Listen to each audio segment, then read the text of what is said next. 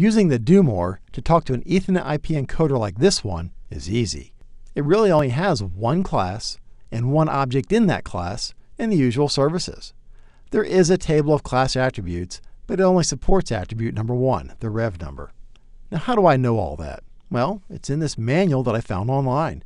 It looks like Appendix B has the Common Industrial Protocol Object Definition, which is what Ethernet IP uses. So we scroll down to that, and here's everything we need. Here are the services that are supported, all the usual suspects. Here's where it tells me that the only class attribute supported is number one. They define all of their units here. That'll be handy in a minute. And here's the one Ethernet IP position sensor object and all of its attributes. Looks like we can ask it for the total number of attributes, a list of which attributes are supported. Notice that they go from 1 to 2, then 10, 11, 12, etc. So not all of the attributes are used here. We can get the current position and the type of the device, specify the counting direction, etc. There's lots of things we can do via Ethernet IP with an encoder. And remember, all Ethernet IP encoders use this same table of attributes. So code you write for this encoder will work on any vendor's Ethernet IP encoder that supports these same attributes. And that's one of the main advantages of using Ethernet IP, code portability and vendor independence. Let's do an example or two. We have a do more at this IP address going into a stride Ethernet switch, which goes to the Ethernet IP encoder at this IP address. As always, we start with the configuration. Ethernet IP doesn't affect the CPU, the I.O., or the module configuration. It does create a new device.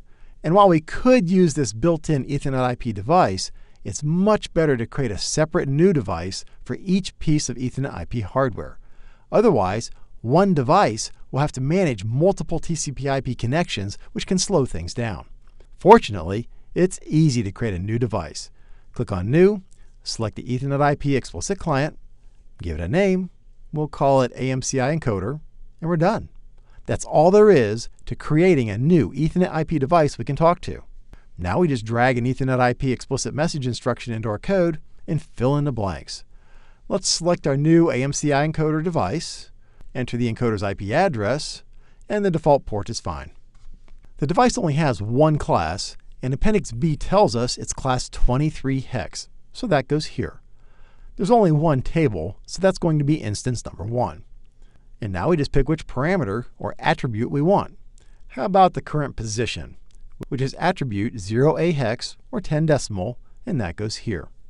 We'll use these for our status bits and D1 for the result and D2 for the number of bytes received.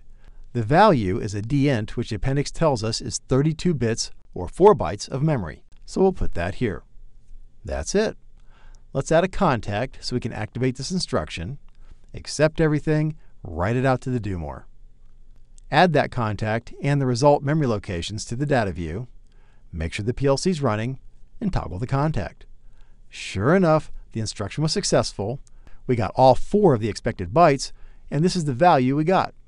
I'll rotate the encoder shaft, toggle another read, and it changes. Perfect. Let's add the ability to preset the encoder value so we can set the encoder's initial output to whatever we want. It's very similar to what we just did, so we'll copy that and paste it here. Looks like the preset is attribute 19. That'll go here. And we want to set the attribute this time. We use these for our status bits, and we'll retrieve the preset value from D0, which is 4 bytes long. So that's fine. Perfect.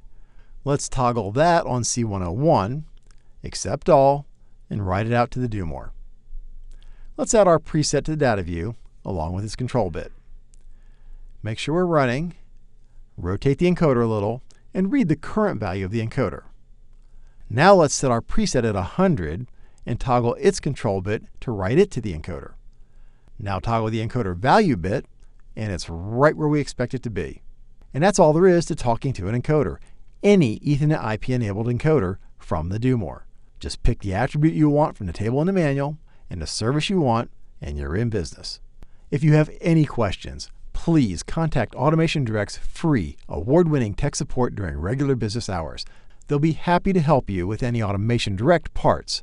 The AMCI encoder isn't an Automation Direct part, so please don't call and ask them about that, but you can ask the folks on the forums.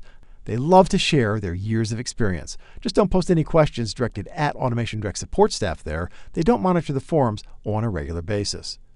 Spend less, do more with Automation Direct.